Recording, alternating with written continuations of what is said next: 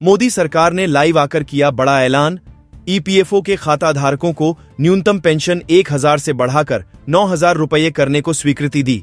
साथ ही पेंशन में तीन नए बदलाव भी सरकार ने जारी किया है और आपको साथ में अन्य महँगाई भत्ते देने को लेकर फैसला सुनाया है सरकार ने। देखिए, वीडियो में पूरी रिपोर्ट। और इसके साथ ही वो जो बड़ी खबर जिसका इंतज़ार हम सभी लोग कर रहे हैं कि इस बैठक में आखिर कौन से विशेष मसौदे पर मुहर लगी, वो साफ़ हो सकती है। अब से थोड़ी देर के अंदर ये जिस पर अब कैबिनेट की मुहर लगी है, इस मीटिंग के अंदर ये कैबिनेट की बैठक, जिसके बारे में अभी तक कोई कुछ बताने के लिए तैयार नहीं था कि इसका एजेंडा क्या है, किन खास विषयों पर आज चर्चा होनी थी। लेकिन आज सुबह प्रधानमंत्री ने जब ये कहा कि ये ऐतिहासिक निर्णयों वाला छोटा लेकिन बड़ा महत्वपूर्ण सत्र होगा। ईपीएस 95 पेंशन धारकों के लिए सुप्रीम कोर्ट की तरफ़ से लेटेस्ट अपडेट सुप्रीम कोर्ट ने की दो नई घोषणाएँ, जिसका सीधा असर आपकी ईपीएस पेंशन पर पड़ने वाला है। काफ़ी लंबे समय के बाद यानी कि सुप्रीम कोर्ट ने पेंशन धारकों को बहुत बड़ा तोहफा दिया है। सुप्रीम कोर्ट की तरफ़ से जो दो नई घोषणाएँ हुई है, जिसका सीधा असर आपकी पेंशन पर पड़ने वाला है और आपकी पेंशन में बहुत बड़ा यानी कि उत्साह आने वाला है और आपकी पेंशन में बम्पर आपको बढ़ोतरी मिलेगी। साथ में आपकी आने मांगी है, उनको लेकर भी सुप्रीम कोर्ट ने अभी अभी ताज़ा बड़ा फैसला जारी किया है सीबीटी की बैठक के अंदर, जिसका फ़ायदा आप सभी पेंशन धारकों को मिलने वाला है। दोनों फैसले जो जारी किए, जो कि सभी पेंशन धारक उनके हक में होने वाले, उनकी पेंशन बढ़ोतरी को लेकर है और उनका जो अन्य जो आपकी मांगे उनको लेकर जारी हुआ है तो पेंशन आपको कितनी बढ़कर मिलेगी? साथ में आपको कौन कौन सी अन्य सुविधा मिलेगी, उनके बारे में आपको विस्तार से जानकारी वीडियो के अंदर देखने को मिलेगी। तो वीडियो में आगे बढ़ने से पहले आपसे एक छोटी सी रिक्वेस्ट है कि चैनल को अभी तक आपने सब्सक्राइब नहीं किया तो सब्सक्राइब कर दे, पास घंटे का बटन दिखेगा, उसे भी दबा करके ऑल पर प्रेस करके रखते हैं ताकि आने वाली ऐसी और भी वीडियो आपको सबसे पहले मिले। तो बात करते हैं पहले आपकी ईपीएस पेंशन बढ़ोतरी की, जो कर्मचारी वर्ग काफ़ी लंबे समय से, यानी कि सुप्रीम कोर्ट से इंतज़ार कर रहे हैं कि सुप्रीम कोर्ट उसका लंबित फैसला है, जो उनको लेकर फैसला कब सुनाएगी, याचिका का तो उसको लेकर सुप्रीम कोर्ट की तरफ़ से इस तरह की यानी कि बड़ी अपडेट आ रही कि सुप्रीम कोर्ट ने आपकी पेंशन बढ़ोतरी को स्वीकृति दी है। सीबीटी की बैठक के अंदर आपकी पेंशन को एक हज़ार रुपये से बढ़ा करके नौ हज़ार रुपये करने को लेकर मंजूरी दी है। अब आपको मिनिमम पेंशन एक हज़ार रुपये की जगह नौ हज़ार रुपये मिलेगी। साथ में आपकी डीए को लेकर मांगती कि महँगाई भत्ता उन्हें मिले तो उन्हें अच्छी यानी कि फैसिलिटी का महँगाई भत्ता में मिलेगा और आपकी फ्री मेडिकल की सुविधा की बात करें तो पेंशन धारकों की मांगती कि फ्री में मेडिकल की सुविधा मिले।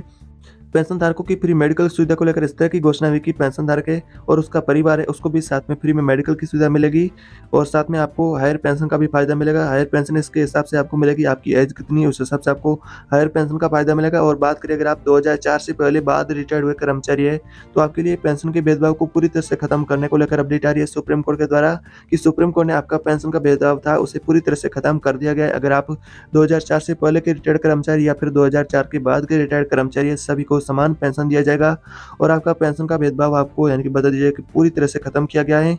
और बात करें पेंशन के भुगतान की तो पेंशन का भुगतान दशहरा से पहले पहले यानी कि दिवाली से पहले पहले आपके खातों में पेंशन का भुगतान किया जाएगा। साथ में आपकी बोनस की राशि को लेकर भी अपडेट आ रहा है, जो कर्मचारी बोनस की राशि को लेकर इंतज़ार करे उनके खातों में जल्दी बोनस का पैसा भी उन्हें मिलेगा, यानी कि दशहरे से पहले पहले आपकी ये पेंशन को लेकर ये तीन घोषणाएँ हुई है, उसके अनुसार आपको इसका फ़ायदा दशहरे से पहले पहले मिलने वाला है। मिनिमम पेंशन और पेंशन का भेदभाव और आपका बोनस का पैसे का भुगतान और पेंशन का पैसे का भुगतान। जल्दी दशहरा से पहले पहले होने वाला है, जिसको लेकर बहुत अच्छी ताज़ा अपडेट आ रही है। सातवें वेतन आयोग के कर्मचारियों के लिए अच्छी खबर, उनके लिए आ चुकी है त्योहारों की सीज़न में उनके लिए बहुत बड़ा तोहफा उन्हें मिला है। सातवां वेतन आयोग के कर्मचारी उनके लिए बहुत ही बड़ी यानी कि गुड न्यूज़ आ चुकी है। त्योहारों में डीए की नहीं आगे बोनस से तिजोरी भरने वाली, यानी कि आपके बोनस को लेकर लेटेस्ट अपडेट आ चुकी है। किन किन कर्मचारियों को ज़्यादा बोनस मिलेगा, किन कर्मचारियों को कम बोनस का पैसा मिलेगा, उसमें बहुत बड़ा बदलाव और अपडेट आ चुका है आपके, यानी कि बोनस को लेकर। उसके बारे में जानने वाले हैं कि केंद्र सरकार आपको कितना तोहफा देने वाली है और किन कर्मचारियों को बोनस कितना मिलेगा और उनके खातों में कब आने वाला है। आप इस वीडियो को आखिर तक देखते रहेगा जानकारी आप सभी कर्मचारी वर्ग उनके लिए काम की होने वाली है। तो अभी तक आपने चैनल को सब्सक्राइब नहीं किया तो चैनल को सब्सक्राइब कर दे पास से बटन दिखेगा, घंटे का यानी कि बेलाइकन दिखेगा, उसे भी दबा करके ऑल पर प्रेस कर दे ताकि आने वाली ऐसी और भी नई वीडियो आपको सबसे पहले मिलेगी। केंद्रीय कर्मचारियों को अपने महँगाई भत्ते के ऐलान का काफ़ी लंबे समय से इंतज़ार है। आमतौर पर डीए में बढ़ोतरी का ऐलान दशहरा तक हो सकता है। इस तरह का अनुमान लगाया जा रहा है कि इस बार भी कुछ ऐसी उम्मीद दिखाई दे रही है कि एक्सपर्ट की मानना है कि दूसरी छमाही के लिए चार फ़ीसदी का इजाफा जो आपका, आपने सुना होगा कि आपका मीडिया रिपोर्ट के अनुसार कि चार फ़ीसदी का महँगाई बता बढ़ सकता है। लेकिन इसी बीच कर्मचारियों के लिए एक अच्छी खबर भी सामने आ रही है। केंद्रीय कर्मचारियों के लिए महँगाई भत्ते का इंतज़ार लंबा होता जा रहा है। आमतौर पर सरकार महँगाई भत्ते का ऐलान दशहरे के आसपास से करती है। त्योहारों की सीज़न में डी हाइक का तोहफा मिल जाता है। इस बार भी उम्मीद की जा रही है कि उनके महँगाई भत्ते का ऐलान दशहरे तक हो जाना चाहिए। इस तरह की उम्मीद की जा रही है। हालाँकि इसको लेकर अभी तक कोई औपचारिक यानी कि जानकारी नहीं मिली है। यह बता साल की दूसरी छमाही के लिए बढ़ाया जाता है। इसे जुलाई यानी कि दो हज़ार तेईस से लागू किया जाएगा। लेकिन इस बीच केंद्र सरकार के दूसरे महकाओं के सरकारी कर्मचारियों के लिए अच्छी खबर आई है, महँगाई भत्ते के अलावा उनके बोनस का तोहफा उन्हें मिलने वाला है। तारों की सीज़न में उन्हें बहुत अच्छा यानी कि बोनस का तोहफा मिलेगा।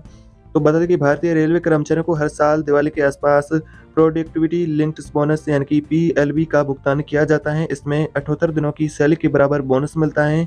इसमें सबसे निचले ग्रेड यानी कि ग्रुप सी और ग्रुप डी के कर्मचारियों को इसका भुगतान होता है। न्यूनतम वेतन के आधार पर बोनस की रकम को कर्मचारियों के खातों में ट्रांसफ़र किया जाएगा। हालाँकि इस बार रेलवे जो फेडरेशन में इसमें बढ़ोतरी की मांग रखी है, लेकिन इस बार अंतिम फैसला केंद्र सरकार को ही लेना है। बोनस को लेकर क्या है फेडरेशन से मांग?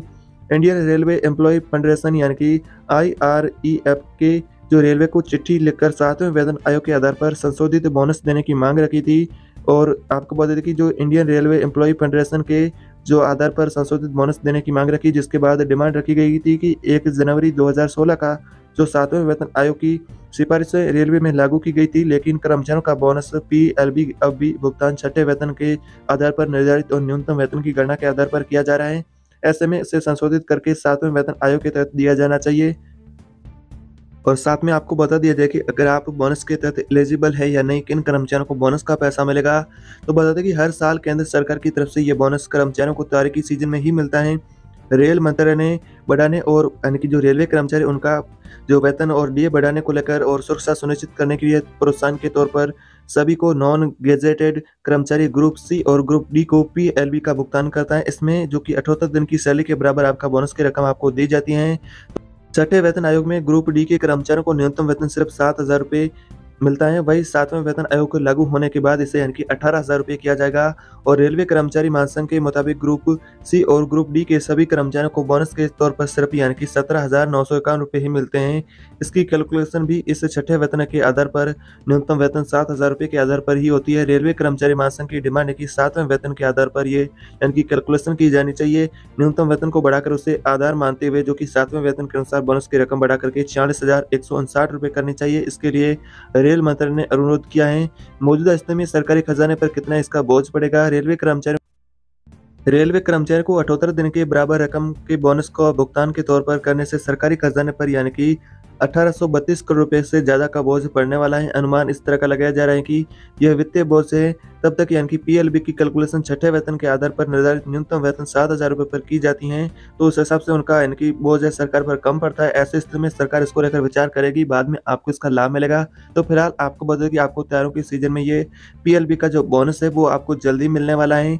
दशहरे से पहले पहले आपको ये राशि मिल सकती है। आपके अकाउंट के अंदर जो बोनस को लेकर कर्मचारी वर्ग है, रेलवे कर्मचारी, वो काफ़ी लंबे समय से यानी इंतज़ार लगाए बैठे हैं कि सरकार इसको लेकर फाइनली बोनस का पैसा उनके खातों में कब भुगतान करेगी। तो आपको जल्दी यानी कि ये बोनस का पैसा उनके जो कर्मचारी इंतज़ार कर रहे हैं, उनके खातों में मिलने वाला है तो इस तरह की आपके लिए अच्छी अपडेट आ रही है।